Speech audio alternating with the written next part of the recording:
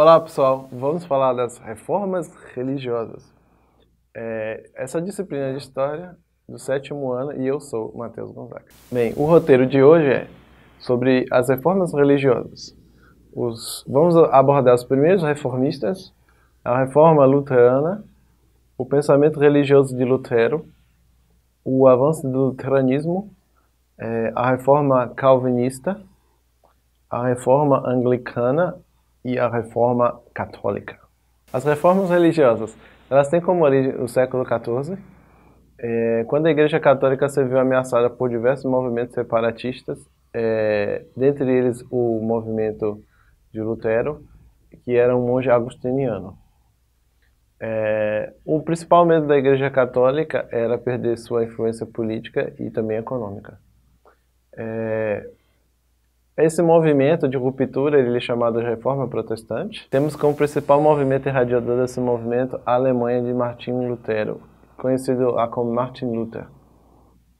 É, bem, as reformas foram um dos principais movimentos que caracterizam a nossa era moderna. É, ela gerou uma grande crise na Igreja Católica institucional, política e econômica, porque as pessoas começaram a ver as falhas que haviam na instituição não só a criticá-la como abandoná-la, é, e também pelo como grande crítica às indulgências, quando Martinho Lutero começou a apontar as, as indulgências seriam um perdão das dívidas. É, essa época era tipo surgidas diversas farsas, como é, pedacinhos da cruz, é, a água de Jesus lá do Jordão, alguma coisa assim, coisas bem, vamos dizer assim, bem falsas, que mascaram a fé, a verdadeira fé cristã. Durante toda a Idade Média, a Igreja Católica foi a centralizadora do poder político, do poder econômico e, claro, do poder religioso. Ela tinha em suas mãos os principais reis da Europa e alterava, inclusive, a situação humanista. O Papa tinha um direito direto de intervenção no Estado, sendo mais um agente político do que um agente religioso. Só que a partir dessa reforma protestante, a igreja começa a perder sua força. Bem, agora vos deixo um exercício de fixação. O que foi a reforma protestante? Quem a iniciou e onde? 2. É, coloque F para falso e V para verdadeiro. A, a reforma não foi apenas uma ruptura religiosa com o catolicismo, mas significou também um movimento político e econômico. B. A igreja condenava a prática de venda de indulgências, o que levou a burguesia a apoiar o movimento reformista. Vamos dar uma pausa, pessoal. Daqui a pouco a gente volta. A resposta é o conjunto de movimentos separatistas que levaram boa parte da população europeia a abandonar o catolicismo e foi iniciado por Martinho Lutero, Alemanha. 2. Letra A. V. B. F. Os primeiros reformistas. O primeiro grande nome dessa época se chama John Wycliffe. Era professor da Universidade de Oxford e pregou o confisco dos bens da igreja. O segundo se chamava John Huss. Era professor lá em Praga, da Universidade Local de Praga. E ele se equiparava em sua defesa de posição, semelhante a Wycliffe. Criticava os excessos do clero e a, grande hierarquia que a igreja defendia. A reforma luterana. É, na Alemanha, é, o líder do movimento reformista foi é, o monge agostiniano, Martinho Lutero, como já tinha abordado nisso. Ele era uma pessoa de origem humilde, e, só que foi uma pessoa de grande estudo. Poucas pessoas sabem, é, embora ele tenha se formado na Universidade de Wittenberg, ele não foi somente professor de teologia, ele tinha doutorado em teologia. Ele passou grande parte da sua vida escrevendo diversos livros. Às vezes Lutero escrevia um livro a cada duas semanas. É, bem, o Lutero estava incluído geograficamente no no contexto que chamamos de Sacro Império Romano Germânico, que abordava aquela, os territórios alemães. É, ele defendia que os bens da igreja deveriam ser confiscados porque a igreja já era um ente muito corrupto. Por isso ele defendia a questão da reforma. Vamos a mais um exercício de fixação. Dê uma pausa no seu vídeo.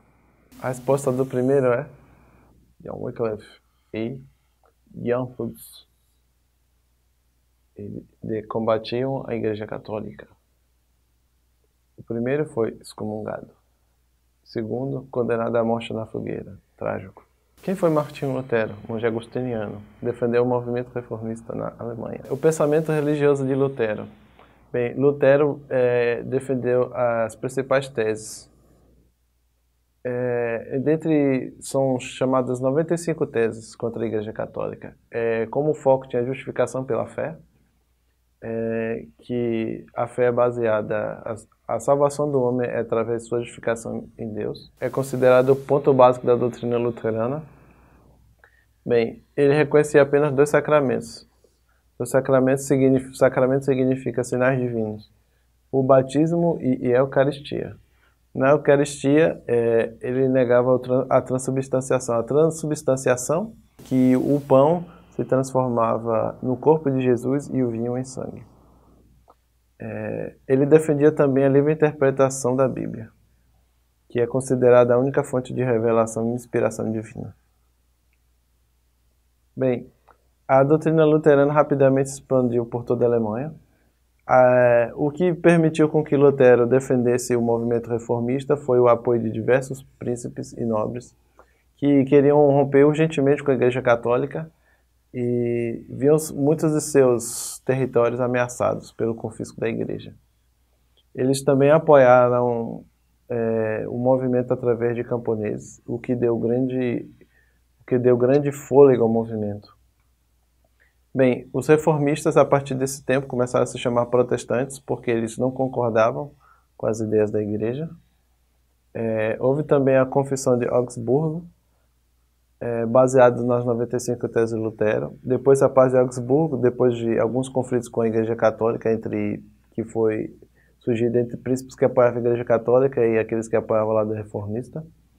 E também a partir disso temos algumas divisões religiosas, que, alguns grupos que começaram a surgir nessa, a partir dessa época.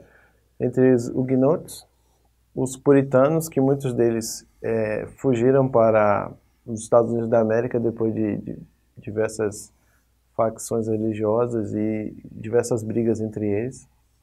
É, os presbiterianos. Questão 1. Qual é o ponto básico do luteranismo? Questão 2. Qual foi a decisão da Assembleia de Spira? Vamos às respostas.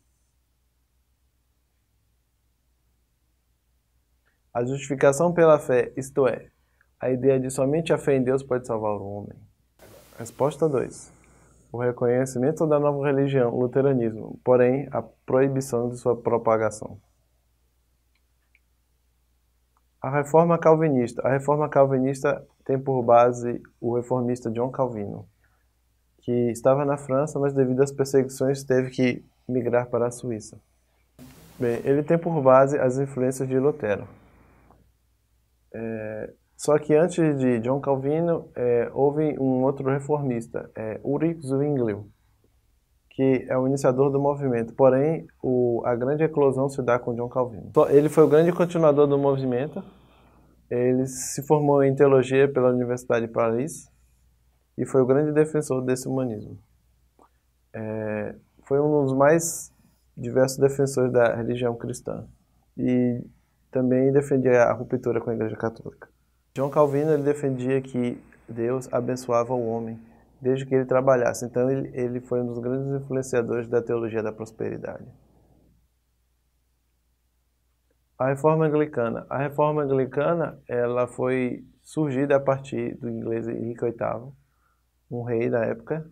É, surgiu porque o, o, o, rei ele não tinha herdeiro. É, através de sua esposa, ela já era estéreo e ele precisava de um herdeiro. Então, como forma de ruptura, ele convocou toda a assembleia política do, do, do movimento que ele tinha de apoiadores e decidiu confiscar o poder papal. Bem, como uma das principais bases do movimento anglicano, nós temos como base as, as ideias de John Wycliffe, que percorreram por toda a Inglaterra, o nacionalismo inglês, é, também a, a continuação da, das lendas inglesas, que fugiam através dos católicos, é, também a necessidade né, dos ex-ingleses de se libertar de uma vez por todas do jugo de Roma, e, mais uma vez, isso é considerado um ato de supremacia, já que eles detinham sua própria riqueza e não tinham mais a influência de Roma.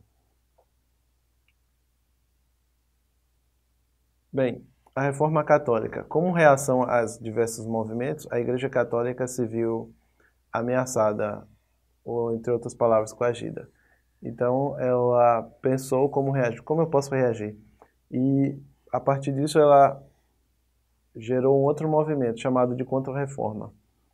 É, temos vários papas reformistas como Pio XIII. E a partir disso também foi gerado o Concílio de Trento para gerar pensamentos e ideias contrárias a derrubar o movimento.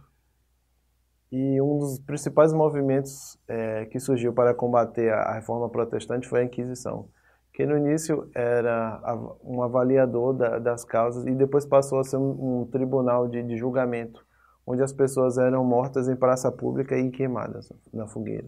Sim, um dos grandes radiadores do movimento do, da Igreja Católica em sua contra-reforma é, teve apoio dos jesuítas. E os jesuítas, eles tiveram sua principal base de, de, de radiação no, no continente americano é, eles foi uma companhia fundada por Inácio de Loyola em 1534.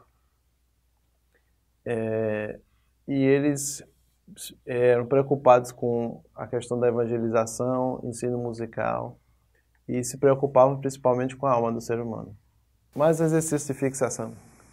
Quais os pilares básicos do protestantismo defendidos por Lutero? Dê uma pausa no seu vídeo.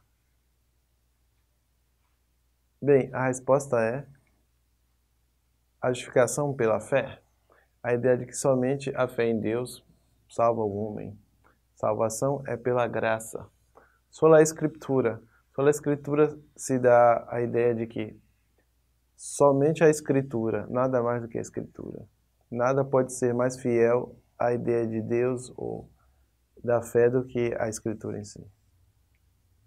Quais as principais contribuições do protestantismo é, no cenário geopolítico global? Dê uma pausa no seu vídeo.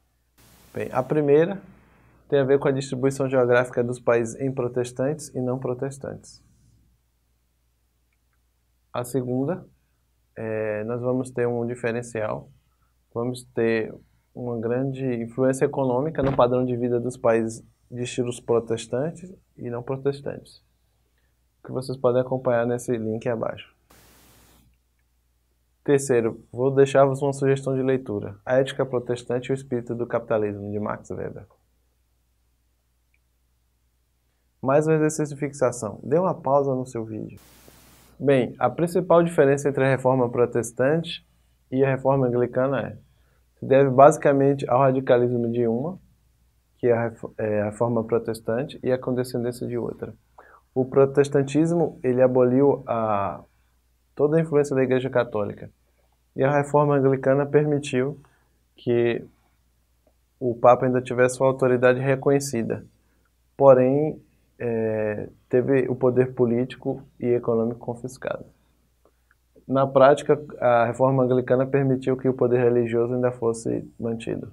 Uma das grandes é, influências do movimento protestantismo depois de anos é os diversos tratados que Alexander von Humboldt é, escreve através da geopolítica.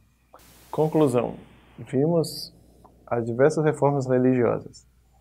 Os primeiros reformistas, a reforma luterana, o pensamento religioso de Lutero, o avanço do luteranismo, a reforma calvinista, a reforma anglicana e a reforma católica. Como referência, nós temos esses links aqui. Vocês podem é, se aprofundar um pouco mais, se quiserem. É, um dos mais interessantes aqui é a coleção real do Reino Unido, Royal Collection. Vocês podem ver de, é, a pictografia interessante dessa época. E eu deixo um, uma indicação importante de filmografia. É, foi filmado na década de 80, mas tem uma qualidade muito boa. É chamada The Mission ou A Missão com Robert De Niro e foi inclusive indicado a um dos Oscars. Obrigado.